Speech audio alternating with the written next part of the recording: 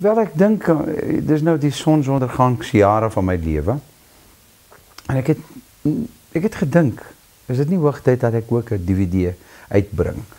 Ehm um, ek wou ek ek wou nie daai tradisionele kom ons gaan in die teater kry 'n band, jy weet, ons skiet 'n live DVD en dis dit. Ek wou baie graag amper my konsep was amper my land, my lied. Wat beteken Suid-Afrika vir my en waar pas my my liedjies binne die konteks van my land, van my land se mense? En dis hoekom ek besluit het jy weet ons gaan oor alles. Ek wil die mooiheid van ons land wys. Ek wil regtig ook die verskillende aspekte van my liedere. O, jy kan 'n lied vat en, en jy sê, "Oké, okay, dit is 'n lied wat iets met die see te doen het." Maar jy jy weet jy kan nie jy kan hom skiet ook in in 'n teater. Maar die see is nie daar, die agtergrond is nie daar nie. Uh jy moet see toe gaan. Jy moet fisies daar loop. Jy moet hoor die branders hoe hulle breek. Jy moet ryk daai uh iodine, jy weet, diep in jou in jou in jou neusgat. Dan dan dan is dit reg. Die gevoel is reg. As dit 'n patriotiese lied is, wel, wat wat 'n beter ding om ons gaan skiet daar by die Voortrekker Monument, gaan skiet daar by waar waar Suid-Afrika so mooi en en en imposant en die mooi landskappe, dan dit word absoluut reg. En so dit is 'n droom wat ek altyd gehad het wat nou waarheid geword het. So ja, maar dit is so bevrediging. So eendag as ek nou oud is, ek is nog nie oud nie. Eendag kom ons terug en ons kyk na hierdie goede en ons kan maar sê dit was regtig wonderlik. My loopbaan het begin eintlik nie my professionele loopbaan. Ek praat van my sangloopbaan. Ehm um, toe ek nou hier in Suid-Afrika beland het, ek was maar 16 jaar oud. Ek kon nie 'n woord Engels praat nie. Afrikaans was totaal vir my vreemde taal. Ek het gedink dis die snaakse eienaardigste taal met hier al hierdie jy weet wat ek bedoel. En ek het verlief geraak op musiek want by Helderberg Hoërskool musiek was 'n baie belangrike aspek in die in die samelewing van van die hele Helderberg uh college. Uh ja, ons het sport gespeel, maar 'n baie sterk musiek uh fakulteit of musiek afdeling. So ons het die kinders het bymekaar gekom en kwartet gesing in verskillende stemme. Daar was 'n mannekoor, daar was 'n hoërskoolkoor, daar was 'n laerskoolkoor, daar was 'n college koor en ons het eintlik nogal baie baie baie goed gedoen en ek het verlief geraak op musiek. Met ander woorde, hierdie staatse apie, weet jy wat ek bedoel? Hy hy skielik kom hy in hierdie college aan die voete van Helderberg. Vreeslike mooi natuur. Dit was so inspirasie. En uh, ek het begin dink, maar musiek is so beautiful. Ek wens ek kon dit doen. En toe eendag het ek in die stort so begin Skies vir die maatjie so maar in elk geval, maar basies ek het 'n joke gemaak. En een van die prefekte het nou my gehoor en gesê, "Hey, bly stil man. Hier is 'n koshuis, is nie 'n opera huis. Jy bler daar, jy weet. Maar het, het onmiddellik na die mevrou Danbaar, die musiekonderwyseres om te sê: "Mevrou, hierdie klein uitlandertjie, hierdie Portugeesetjie, hy het 'n helse stem. Mevrou moet hom kry vir die koor want hy sing." En so het dit begin. Ek het op audisie gekom en mevrou Danbaar het my gevra: "O, met 'n Portugese iemand wat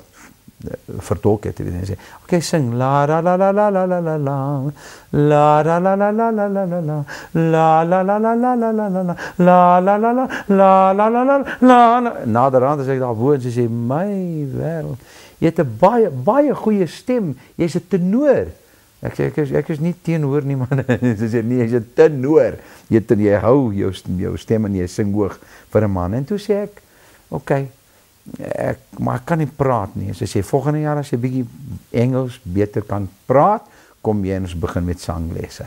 Dit was net 'n joke. En daai joke het eintlik my loopbaan geword. hoogtepunte byvoorbeeld my pa en my ma was so arm. Ons het nooit 'n kar gehad, ons het nooit 'n huis besit nie. Uh maar die dag toe die Portugese regering vir my die die medalje en en die titel vir my gegee het. Die titel is is Comendador. I commend you. The country commends you for something you've done uh, to make the name of Portugal big. Jy weet, dis dis die idee, Comendador. Dit soos 'n 'n knighthood in Engeland, maar dalk nie so so so groot soos 'n knighthood. Jy word nie 'n sir. Jy word 'n Comendador. En my pa kon nie glo nie dat ons met so arme mense kon so eh, eer kry dat dat die regering dat ons land vir my vereer het eh, vir die goeie wat ek gedoen het vir eh, ek het dit niks gedoen. Ek het net eenvoudig uh gesing en en geniet en my bes gedoen jy weet. Dit was een. Die ander een was natuurlik Sun City. Uh daai dae 1983 Suid-Afrikaanse musiek was jakkie niemand wou dit gehad het nie. En ek was die eerste sanger wat ooit saam met 'n band die Jerry Bosman orkes van 18 uh, by Sun City was die eerste sanger wat ooit 10000 mense daar gepak het oor 'n Saterdag aand en 'n Sondagmiddag jy weet dit was en die ou wat voor my gekom het was Rod Stewart en na my het Elton John gekom. Dit is nogal baie nice. Ander hoogtepunt om om Muhammad Ali te ontmoet in Amerika by sy huis om die oggend daar deur te bring. Met gloves uh vir my boxing gloves rooi wat hy geteken het spesiaal vir my. Groot plek vir my in in jy weet in my huis. Sulke goed is ja en my my my albei my kinders se geboorte. Ja enige paar like.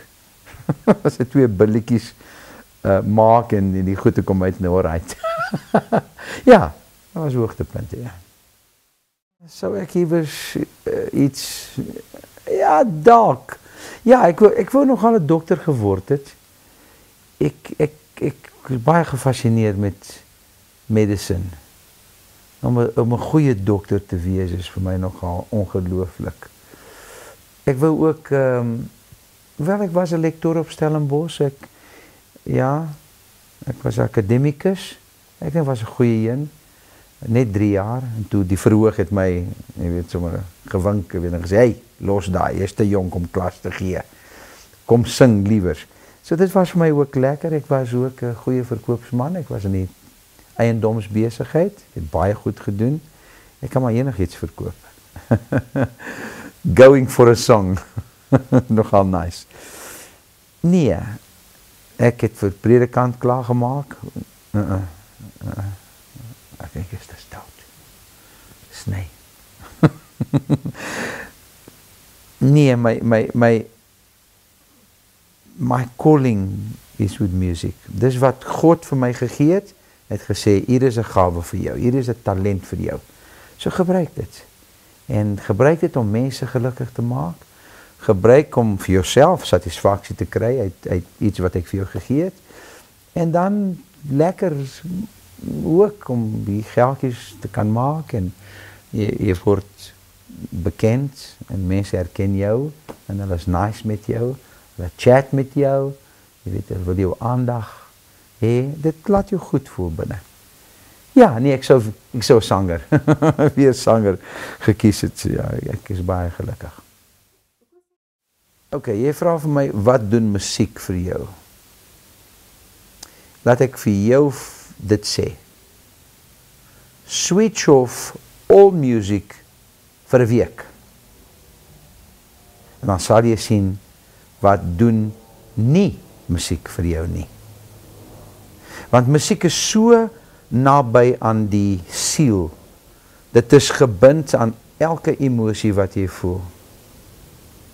Liefde, teleurstellings, verlange, hartseer my kind uh ons skryf 'n liedjie vir 'n dogter uh huwelik daar's liedjies geskryf oor musiek is gebind met elke faset van van die mens se lewe.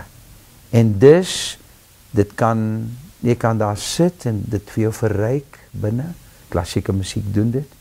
Dit kan ook gebruik misgebruik word vir gaga doeleindes jy weet wat ek bedoel ek wil dit nie noem nie, maar dis my persoonlike mening. Dit kan ook ja, as jy sê dis hy lig jou op, hierdie tipe ding. En dan natuurlik as ons verlief is en skryf ons mooi liedjies, jy weet. Ek lief jou, hierdie tipe ding. So musiek, ja, jy kan nie, jy kan nie. Kan jy sonder asem haling? Nee, ek kan nie. Die lug. Eh, nee, nee, dit is alles deel van wat ons noem die kunste. Dit verryk jou. En musiek na my mening, ja, beeldkunde, beeldkunde, dis baie mooi uh paintings, jy weet, mooi maar musiek vir my is magic. Ja, onthou jy by Sun City het my genooi om een van die legendes te wees. Wat is 'n legende? Partykeer wonder ek, wat is 'n legende eintlik? Wat wat maak 'n legende? Wat veroorsaak dat jy 'n legende word? En dan wat moet jy doen om om om daai mooi titel uh, uh, te verdien? Jy weet wat ek bedoel. Ek, ek dink is meer 'n kwessie van ek lief my musiek. En al daai ander goede wat kom is is is net ja, dit is die cherry on top. Jy weet wat ek bedoel? As jy geld kry, wel dan dankie Here. As jy jy word beroem, jy word jy word bekend. Wel, dis ook 'n 'n byproduk van iets wat jy gegee het uit jou hart uit. Ek sê altyd jy sit iets in en jy hoop jy kry iets uit. In wat ook al vorm dit mag gebeur, ek weet nie. Maar ek ek dink as ek na mense kyk en hoe hulle na my kyk, die e-poste, die SMS'e en hoe mense lief vir my is. Ek dink is nog al 'n baie bevoordeelde mens. Ek is 'n ryk mens, ek het ryker geword hier binne. Ek dink enige enige plattelandse dorp vandag as ek daar kom, ek sal 'n bed en en en daarom 'n broodjie hê want dan sal iemand dit dit vir my sal gee. Dit is nogal ja, dit is nogal as jy eendag 6 voet onder is. Jy weet, daar sal 'n paar mense wat daar dalk 'n paar blommetjies vir jou sal daar neerkom sit. En dis genoeg vir my.